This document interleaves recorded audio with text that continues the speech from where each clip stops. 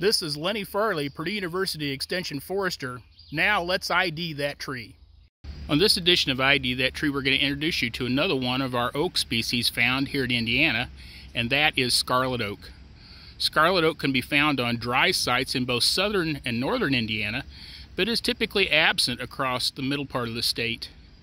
Scarlet oak is in the red oak group, and so as you can see, we've got those little bristle tips on the ends of the lobes of the leaves. Scarlet oak typically has several lobes on the leaves, more than pin oak, which it can resemble, but pin oak is typically a bottomland species found in moist sites. This ha species has very deep sinuses or divisions between the lobes on the leaves, and if you'll notice, the bottoms of those sinuses have somewhat of a C shape to them, and that can help us some, to some extent with identification, although leaves can be very variable across the oaks. As in all our oaks, we typically find a terminal bud cluster, and with scarlet oak, the buds can be quite large and typically have some hairs on the outside edge of the scales, somewhat resembling black oak, although not quite as light in color, definitely with some hints of red here on the outside edge margins. Alternate leaf arrangement, simple leaves in all our oaks. Scarlet oak has very dark trunks, typically medium to dark gray, with relatively smooth bark compared to many of the other oak species. And so once again, this one can resemble black oak in some ways too.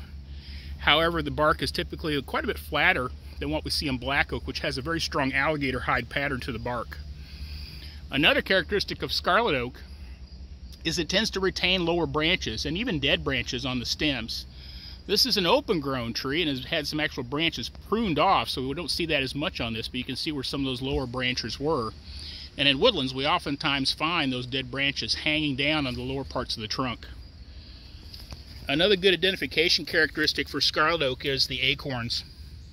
We have a relatively large acorn with a large cap that oftentimes covers half or more of the acorn itself.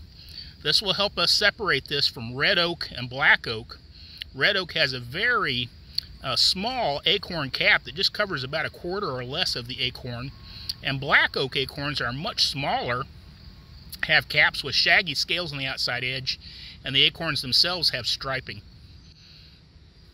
So scarlet oak, one of our upland oak species found on dry sites across southern and northern Indiana, and also finding more favor in ornamental plantings all the time.